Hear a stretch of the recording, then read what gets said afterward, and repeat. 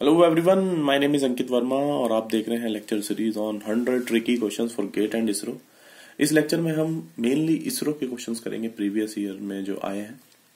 और मेनली मैंने इसमें स्ट्रेंथ ऑफ़ मटेरियल के क्वेश्चंस लिए हैं और थ्योरी ऑफ़ मशीन के एक दो क्वेश्चंस लिए हैं इसमें। कोशिश करेंगे कि मैक्सिमम क्वेश्चंस इस लेक्चर में कवर करें और सभी के सभी जो क्वेश्चंस हैं इसरो में प्रीवियस ईयर में आए हैं। ओके तो इस लेक्चर नंबर तीन है इस लेक्चर सीरीज़ का।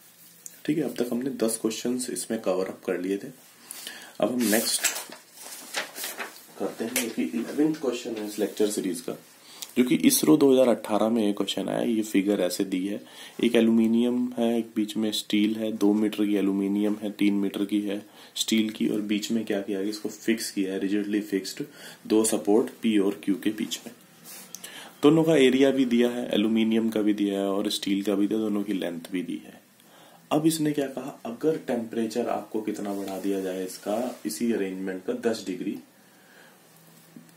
तो इसमें जो रिएक्शन फोर्स होगी, कितनी लगेगी? तो रिएक्शन कितनी लगेगी इन एंड्स पे?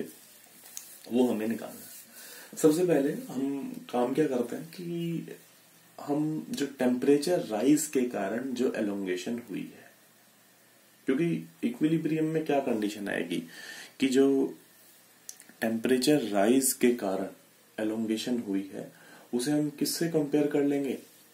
जो एलोंगेशन होती है, जो हमने स्ट्रेस और स्ट्रेन का जो डायग्राम से पढ़ी है इक्वेशन या stress upon strain equal to Young modulus वहाँ से जो डिफॉर्मेशन होती है उसको इक्वेट करेंगे। तो इस टाइप के हालात से हम ये क्वेश्चन करेंगे। तो मैं आपको इसमें बताता हूँ कि सबसे पहले टोटल एलोंगेशन निकाल देते हैं हम, जिसे डेल्टा से डिनोट करते हैं।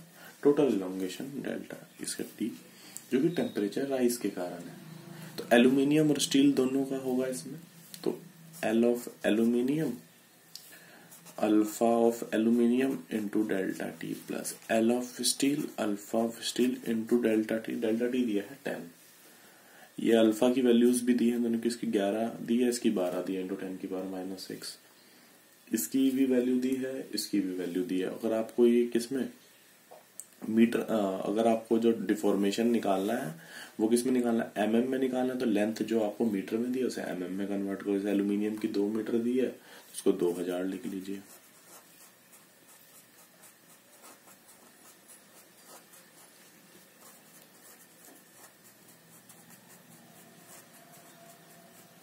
क्लियर यहाँ से सॉल्व करके जो डेल्टा की बारह थी छत्तीस और बाईस, अट्ठावन।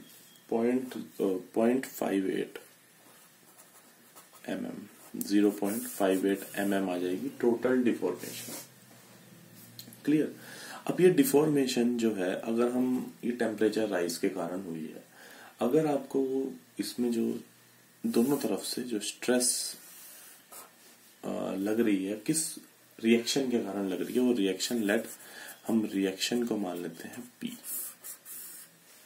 ठीक है? तो वही पी लग रहा होगा एल्यूमिनियम में, वही पी लग रहा होगा स्टील में। ठीक है? क्योंकि एक रिजिडली फिक्स लिंक है ये ऐसे।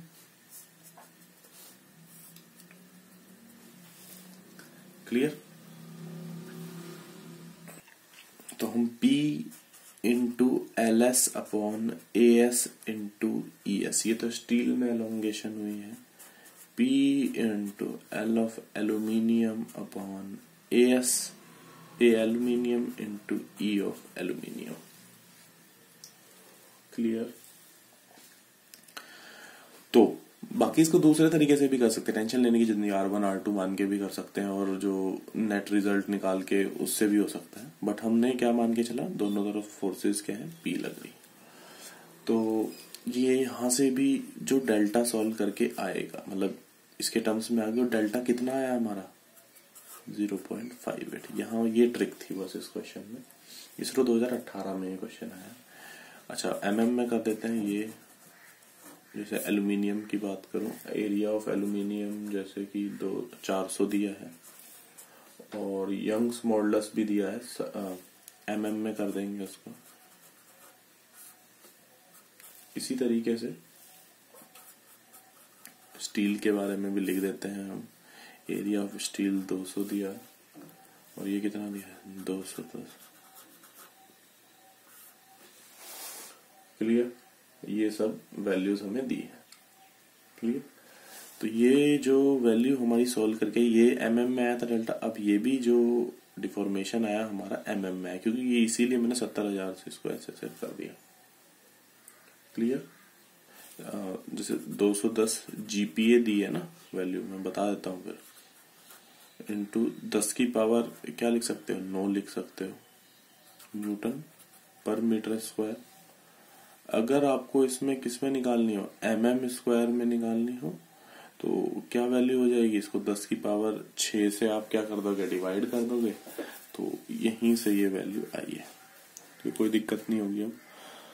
अच्छा यहाँ से जो ये वैल्यू सॉल्व करके आई है, अब अगर आप इसको ध्यान से देखें तीन ज़ीरो कट गई ये ये दो गया।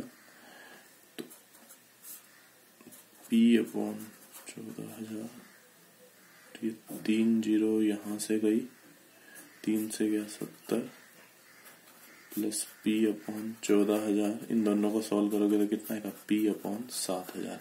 ये किसके बराबर आ जाएगा? पॉइंट फाइव एट के बराबर आ जाएगा।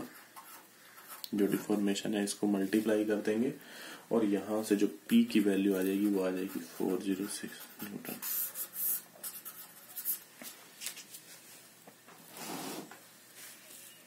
clear समझ आ गई बात? कैसे इन क्वेश्चंस को डील करना आगे कोई भी ऐसा क्वेश्चन है तो आप इसको बड़े आराम से कर सकते हैं।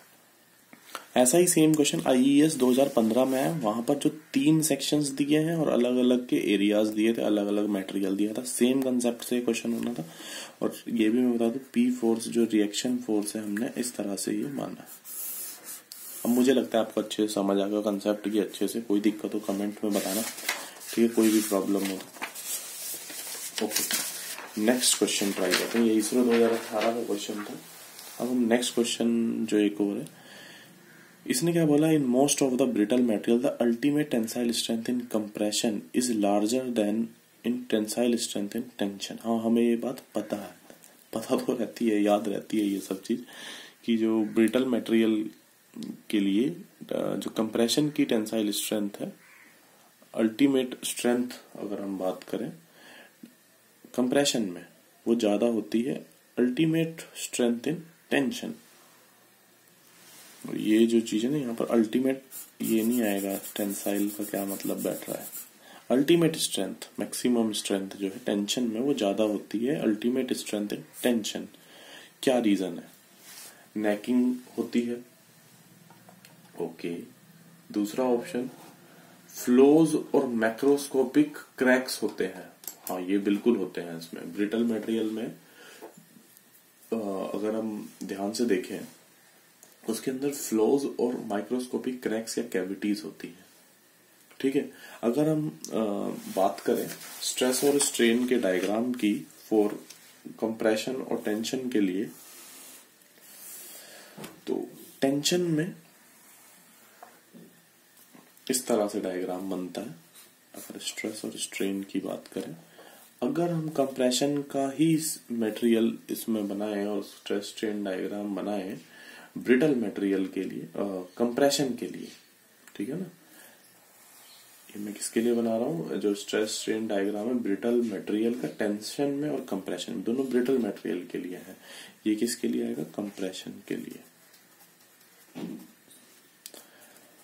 और ये किसके लिए आएगा? ये किसके लिए? ब्रिटल मटेरियल में होता है। कंप्रेशन में जो स्ट्रेंथ है अल्टीमेट स्ट्रेंथ क्या आती है? ऐसा डायग्राम इसमें आता है।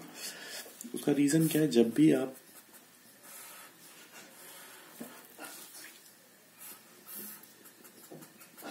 कंप्रेसिव स्ट्रेस लगाते हैं तो इसके अंदर जो फ्लोज होते हैं क्रैक्स होते हैं, इस तरह से इसमें रप्चर होता है। इसका वो जो टूटने का तरीका है, वो इस तरह से होता है।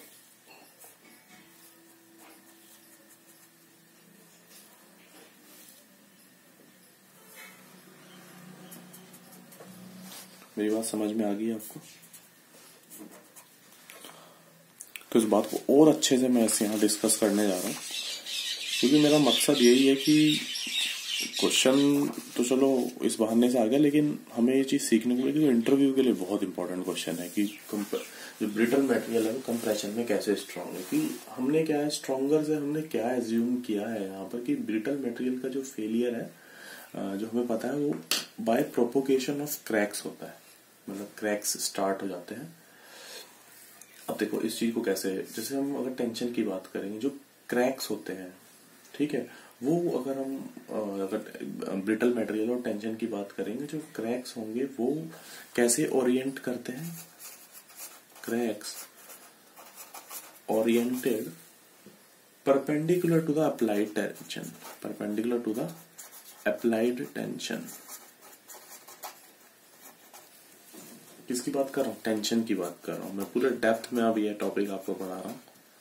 टेंशन के दौरान।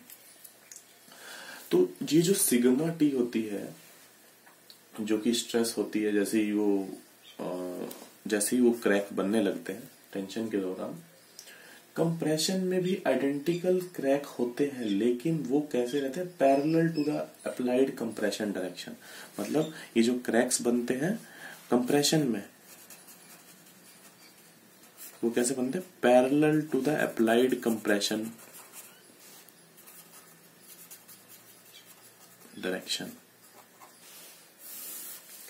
अगर हम इसको और मैथमेटिकल देखें, जो सिग्मा सी की वैल्यू होती है, कि जो सिग्मा सी की वैल्यू क्या होगी the stress to move the crack कितनी स्ट्रेस चाहिए? टू मूव द क्रैक्स क्योंकि वो उसी की डायरेक्शन में आ रहे हैं तो प्रॉब्लम क्रिएट कर रहे हैं, थोड़ा ज़्यादा स्ट्रेस लगानी पड़ रही है। तो इसमें जो सिग्मा सी की वैल्यू होती है, पूरा मैं आपको बता रहा हूँ, इसकी वैल्यू होती है ये, इस केस में। डिवाइड किससे होता है? म्यू से। म्यू क्या है? पॉइजन रेशियो है। तो यानी कि ब्रिटल क्रैक्स कंप्रेशन के दौरान किस इफ़ेक्ट को लाता है? पॉइजन इफ़ेक्ट को सामने लाता है।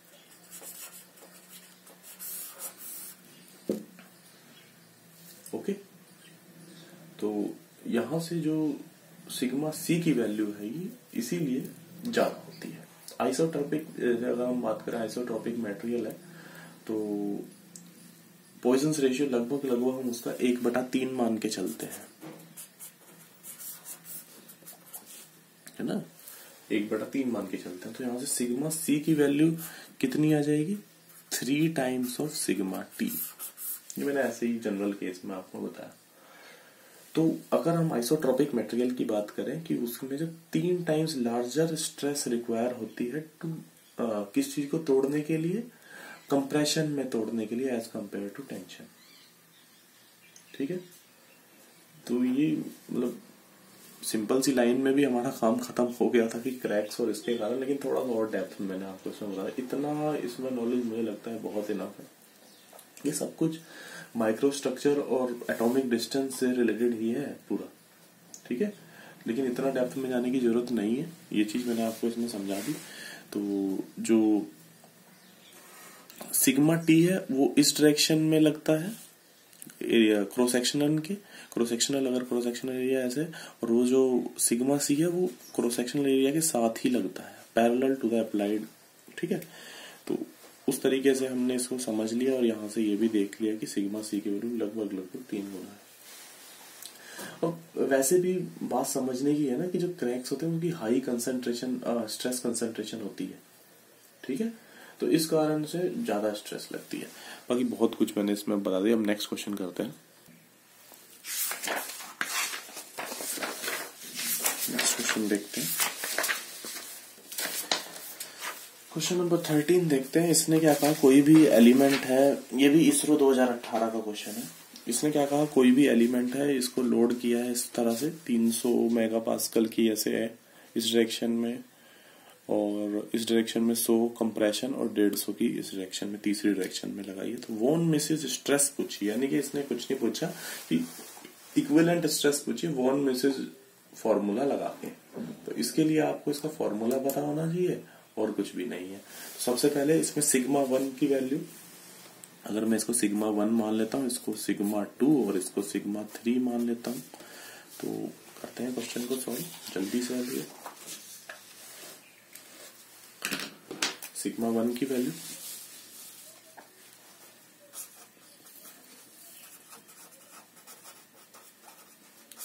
सिग्मा टू की value minus hundred mega pascal लेनी पड़ेगी।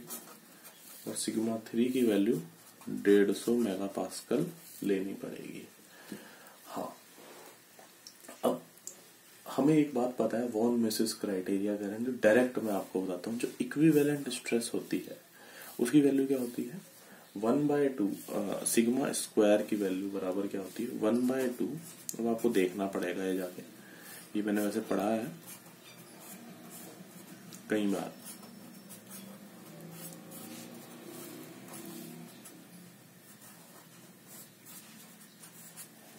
ओके। नेट वैल्यू है। अगर आपको नेट वन मैसेज स्ट्रेस है, ये वाली। ठीक है तो सब वैल्यूज़ आपको गिवन है। सिग्मा वन सिग्मा टू बस वैल्यूज़ ही रखनी थी और कुछ नहीं था। ठीक है तो वन बाय टू तो इसको चाहे सिग्मा की वैल्यू निकालनी हो तो इसको वन बाय अंडर रूट लिख लीजिए और ये भी अंडर रूट में लिख लीजिए। तो इन दोनों को माइनस करोगे तो ये 400 का स्क्वायर हो जाएगा प्लस इसको करोगे माइनस माइनस ढाई सौ का कॉस सिग्मा थ्री से माइनस डेढ़ सौ का स्क्वायर हो जाएगा। तो ये वाली वैल्यू जो भी सॉल्व करके आएगी वन बाय सिग्मा की वैल्यू यहाँ से आंसर क्या था? साढ़े तीन सौ मेगा पास्कल दिया है, आप चेक कर लेना कैलकुलेटर से सॉल्व करके। ठीक है? तो ये मैं टाइम बचा रहा हूँ, जल्दी से बता दे। सीधा ये थोड़ा सा आसान क्वेश्चन है डायरेक्ट फॉर्मूला बेस्ड है। बढ़िया, इससे पिछला क्वेश्चन बहुत बढ़िया था। एक और क्वेश्चन है। ये जो क्वेश्चन है, इसने, ये थ्योरी ऑफ़ मशीन का क्वेश्चन मान लीजिए, लेकिन फिर भी स्ट्रेंथ ऑफ़ मटेरियल का यूज़ है। इसरो 2014 में एक क्वेश्चन आया। इसने क्या कहा? Fundamental frequency of the cantilever beam with point P at the free end in radian per second fundamental frequency ज़रूर बोल दी, लेकिन ये ओमेगा ही पूछ रहा है। ठीक है, यहाँ गड़बड़ हो जाती है थोड़ी सी। और इस टाइप का दिया है कैंटिलीवर बीम दी है तो यहाँ पर हमें डिफ्लेक्शन भी इसका पता है। तो डायरेक्ट फॉर्मूला बेस है, मैं इसको कराने जा रहा हूँ। हमें पता है नेचुरल फ्रीक्वेंसी का जो फॉर्मूला है, वो ये होता है। Omega two G upon delta तो डेल्टा की जो वैल्यू होगी, हमें पता है डिफ्लेक्शन का फॉर्मूला इसके लिए स्ट्रेंथ ऑफ़ मटेरियल में हमने पढ़ा है। अगर ये एल लेंथ है इसकी P L cube upon three E I यही पढ़ा। तो यहाँ से हमने ओमेगा एन की जो वैल्यू आएगी जी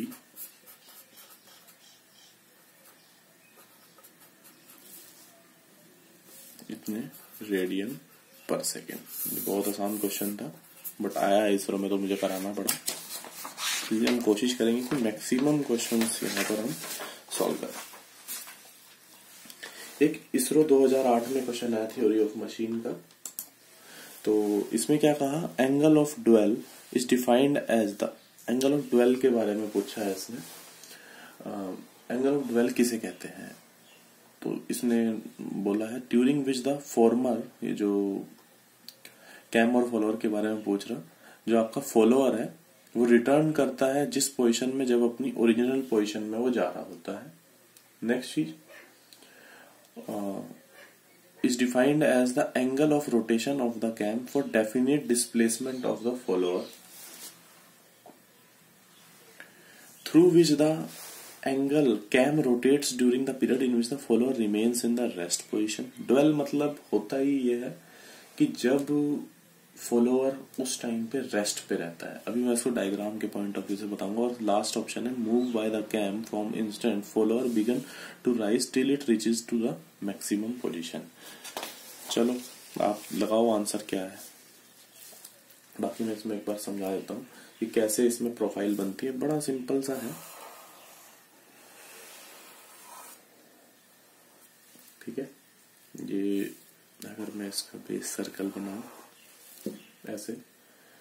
तो जो एक तरह से अगर हम बात करें कि स्टार्ट यहाँ से अगर कोई चीज़ होती है और यहाँ पर वो फिनिश करती है तो ये इस तरह से यहाँ पर फॉलोअर का मूवमेंट होता रहता है।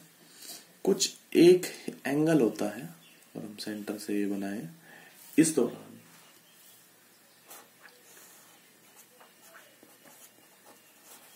जहाँ पर जो कैम होती है, रोटेट करती है, लेकिन फॉलोअर अपनी जगह पे वहीं के वहीं रहता है। वैसे तो फॉलोअर अपना कुछ ना कुछ मोशन कर रहा होगा, लेकिन कुछ एंगल पे वो रुका रहता है। ठीक है? तो तो हम क्या बोलेंगे? फॉलोअर कहाँ रहता है? इस जगह पे हाईएस्ट पोजीशन पे रहता है अपनी।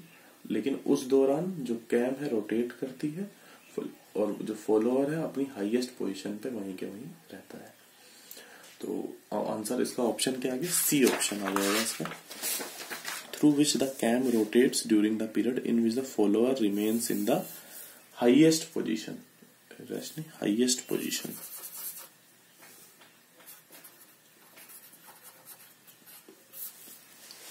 clear तो ये उस पॉइंट को हम यहाँ से हमारा ही कवर हो गया। फिफ्थ क्वेश्चन जो था। नेक्स्ट क्वेश्चन देखते हैं। ये इसरो 2017 में है। देखो, इस टाइप का है और एक फिक्स एंड है। फिक्स प्लेट है, एक ये एक ये प्लेट है ए बी प्लेट है, जिसकी थिकनेस कुछ दी है और यहाँ पर इस थिक इस पे कुछ यूनिफॉर्म प्रेशर लग रहा है। दो ब्लॉक्स हैं जिसका अलग अलग यंग्स मॉडल्स दिया है। तो इसने चार चीज़ें दी है हमें। स्ट्रेस दोनों में सेम लगेगी क्या? स्ट्रेन दोनों में सेम लगेगी क्या? जो ए बी है, वो टिल्ट करेगी? जो प्लेट ए बी है ठीक है, वो टिल्ट करेगी और पॉइंट जो बी है वो अपवार्ड जाएगा या पॉइंट ए अपवार्ड जाएगा। चार ऑप्शन ये चार स्टेटमेंट दिए इसमें से पूछे, ये सही है, ये सही है, ये वाली दो सही है, ये दो सही है। इस टाइप का क्वेश्चन है। इसरो 2017 में क्वेश्चन है। स्क्रीनशॉट लो और क्वेश्चन को ट्राई करो, रोक के लेक्चर बाकी मैं इसमें बता रहा हूँ। चलिए सॉल्व करते हैं इसको।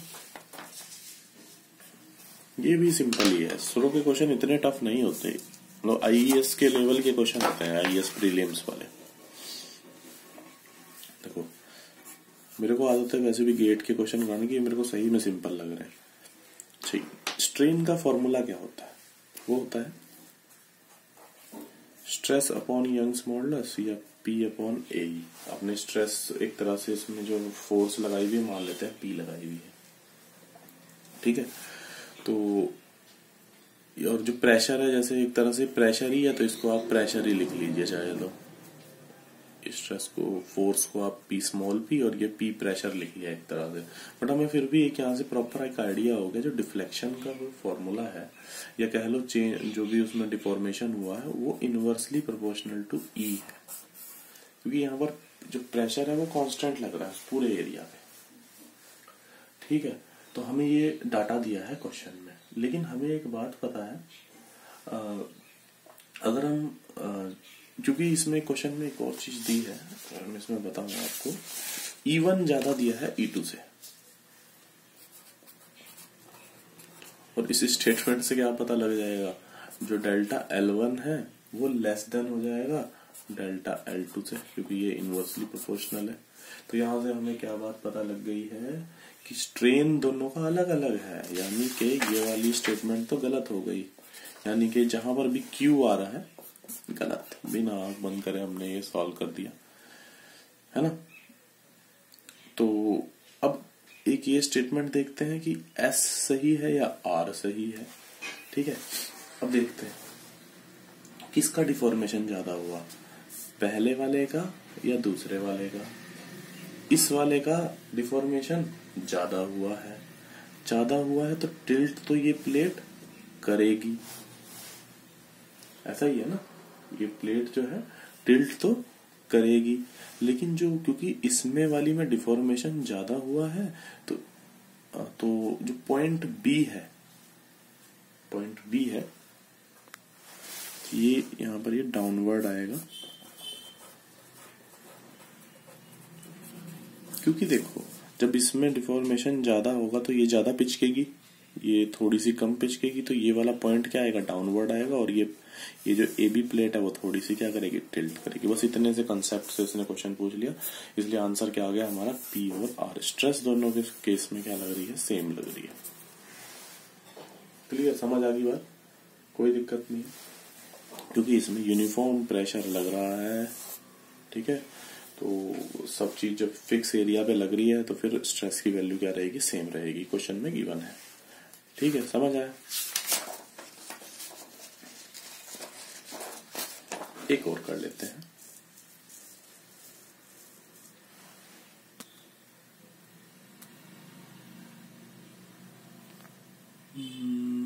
एक मिनट।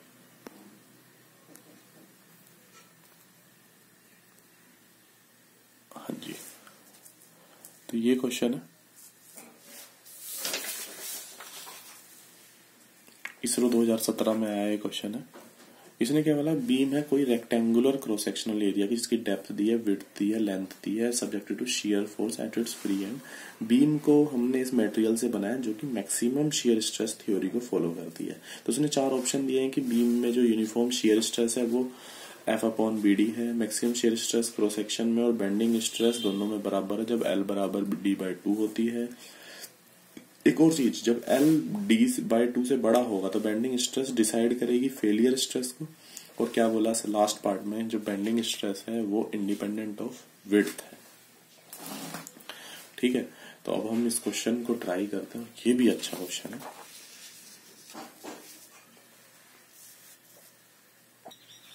पहले पार्ट में इसमें क्या कहा है?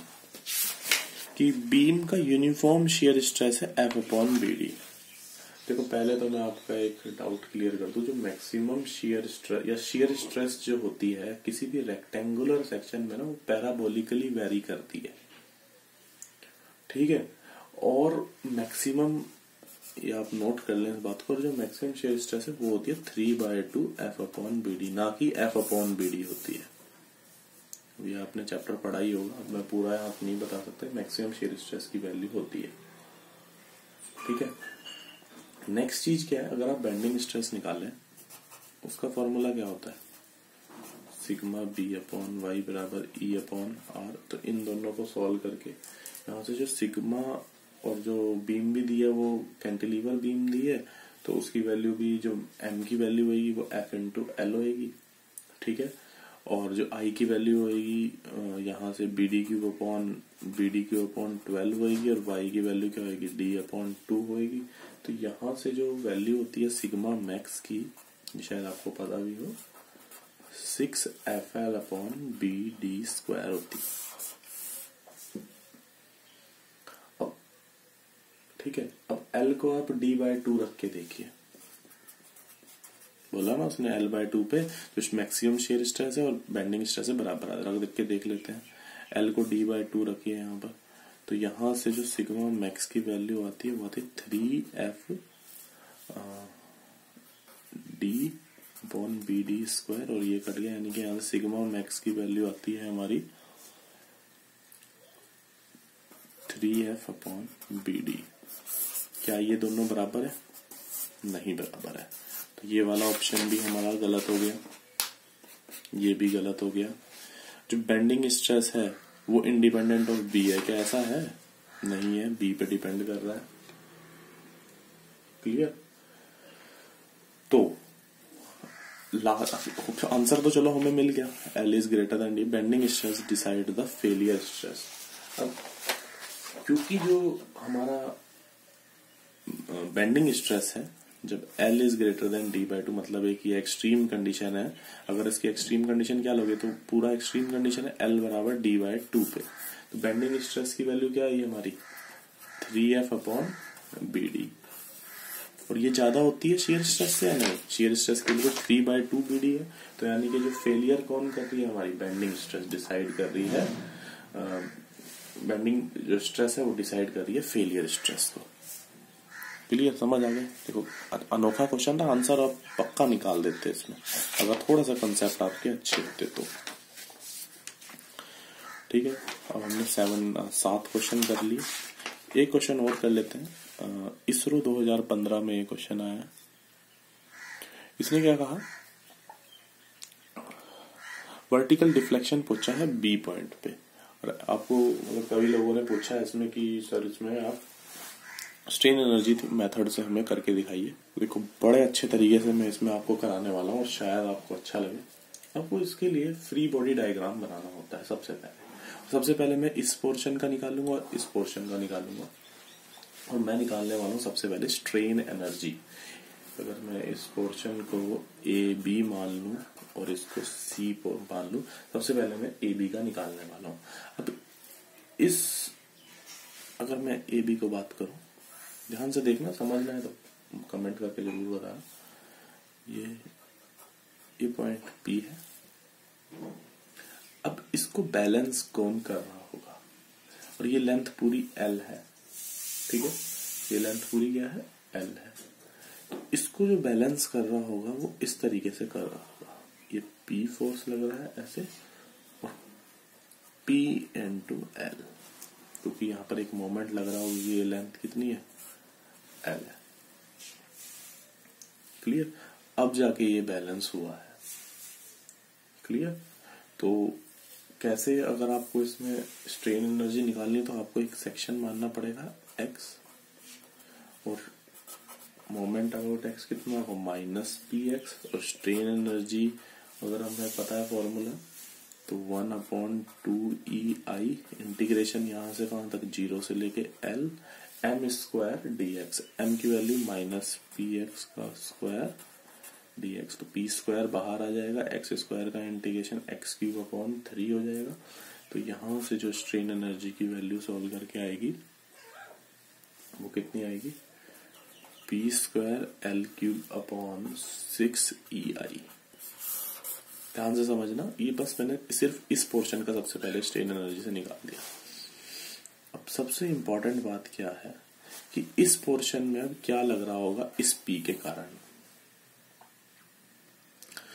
तो जो हमें वर्टिकल डिफ्लेक्शन निकालना है इस पोर्शन का वर्टिकल डिफ्लेक्शन निकालना है तो इस पोर्शन में बीसी पोर्शन को बड़े ध्यान से देखना।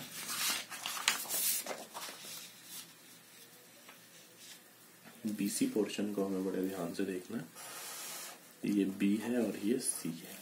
जैसे मैंने बताया, इस पोर्शन पे क्या लग रहा है? पी एल लग रहा है। तो इसको बैलेंस कौन करेगा? ऐसे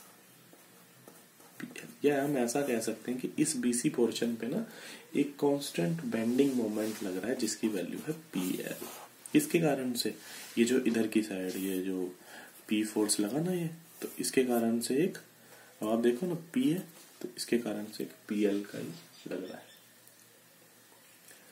क्लियर लेकिन आपको क्या निकालना है इसमें? बेंडिंग के कारण निकालना है है ना? लीनियर तो नहीं निकालना है। तो आपको क्या निकाल अब एक सेक्शन मान लेंगे कोई भी हम यहाँ पर ऐसे। यहाँ से मान लेंगे कोई भी सेक्शन और इसका डिस्टेंस कोई भी क्या मान लेंगे? वाई मान लेंगे। तो इसके लिए, इस बीसी पोर्शन के लिए अगर मुझे स्ट्रेन एनर्जी निकालनी होगी तो इसके लिए भी वही formula one upon two E I length इसकी भी ज़ीरो से एल तक है तो इंटीग्रेशन करेंगे M Y square into D X है ना? एम वाई की वैल्यू कितनी लोगे P L whole square D X ठीक है तो ये सब तो कांस्टेंट ही रहेगी ना? ये सब पी एल स्क्वायर तो बाहर आ जाएगा और एक्स का इंटीग्रेशन एक्स होगा लिमिट ज़ीरो से लेके एल है। तो यू ऑफ़ बी सी कितना आ जाएगा? P square L cube upon two E I total strain energy क्या आएगी? दोनों को हम क्या कर देंगे? जोड़ देंगे। नेट स्ट्रेन एनर्जी वो सॉल्व करके कितनी आएगी हमारी? आ, आएगी four P square L cube upon six E I ये भी क्वेश्चन पूछ सकते थे आपसे? नेट स्ट्रेन एनर्जी का। बट आपसे क्या पूछा है? इसने डिफ्लेक्शन पूछा है। इस पॉइंट पे। इस पॉइंट पे डिफ्लेक्शन पूछा है। तो आप यहाँ पर क्यों थ्योरम लगा दोगे तो आपको क्या पता है? जो डिफ्लेक्शन अगर आपसे ए पॉइंट पे पूछा है तो उसका वैल्यू क्या होती है? Del U upon del P ठीक है? जिस भी पॉइंट पे पूछा है उस पर आप पी के रिस्पेक्ट में निकाल दोगे, इसका डिफ्रेंसिएशन कर दोगे तो इसकी जो वैल्यू आएगी, कितनी आएगी पी स्क्वायर की टू पी आएगी। तो ये कितना आ जाएगा यहाँ से? एट एट अपॉन सिक्स आ जाएगा या फोर अपॉन थ्री आ जाएगा? Four upon three P L cube upon E I. इसका डिफ्लेक्शन कर डिफ्रेंसिएशन करके इसका क्या आ जाएगा? टू पी आ जाएगा। क्लियर? तो हमने इस लेक्चर में आठ अच्छे क्वेश्चंस करे हैं मेनली स्ट्रेंथ ऑफ़ मटेरियल और एक दो क्वेश्चन थ्योरी ऑफ़ मशीन का नेक्स्ट लेक्चर में भी हम लगभग सात आठ क्वेश्चन करेंगे इसी तरीके से इस लेक्चर सीरीज़ ये लेक्चर नंबर तीन था। अब कोशिश करेंगे कि जल्दी से जल्दी इस लेक्चर सीरीज़ को खत्म करेंगे सौ अच्छे क्वेश्चंस हम इस लेक्चर सीरीज़ में कंप्लीट करें। सो so दैट कि सभी का फ़ायदा हो, कुछ नया सीखने को मिले, कुछ कंसेप्ट अगर रह गए हो, किसी को कंफ्यूजन हो तो उससे यहाँ पर क्लियर हो जाए। तो आपसे यही गुजारिश है कि लेक्चर को ज़्यादा से ज़्यादा शेयर करें और चैनल को सब्सक्राइब करें। और लेक्चर सुनने के लिए धन्यवाद।